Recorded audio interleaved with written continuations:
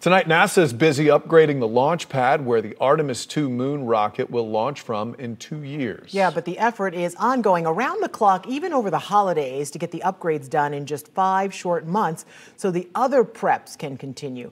Only on 6, News 6 space expert Erik von Ancken is at Pad 39B with an exclusive look at one of the most critical upgrades. NASA, as we know, has contingency plans for just about everything. This one involves connecting a thick cable from that point all the way to the top of the launch pad, to the top of the SLS rocket, in case astronauts need to abort. Essentially, it's a zip line that will carry them from there to here if there is some sort of an emergency. This one, though, is going to be very different than the days of the shuttle. Two, one,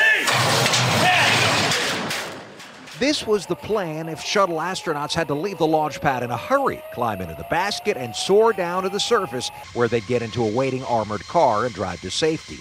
The cables had to be attached and tensioned precisely but only once. But the baskets were always at the at the top of the tower. And the cables were always in place. And the, the cables were always in place. Now it's it's uh, it's a process that that we will or the ops people will have to perform every time the mobile launcher comes into the pad. Remember, the mobile launch tower that the SLS lifts off from moves back and forth to the pad. The old launch tower never moved.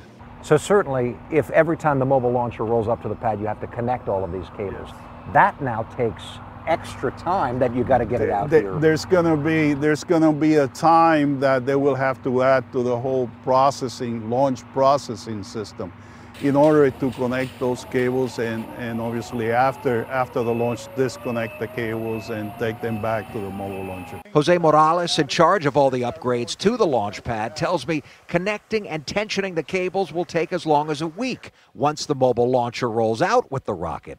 But it's a necessity for Artemis 2 and beyond, Morales says, because of course astronauts will be on board and lives will be at stake.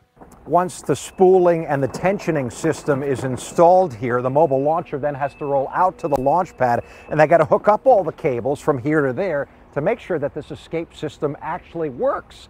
Then the mobile launcher has to roll back to the vehicle assembly building. And They got to start stacking the rocket on top of it. That's why there's such a strict deadline to get all of this done.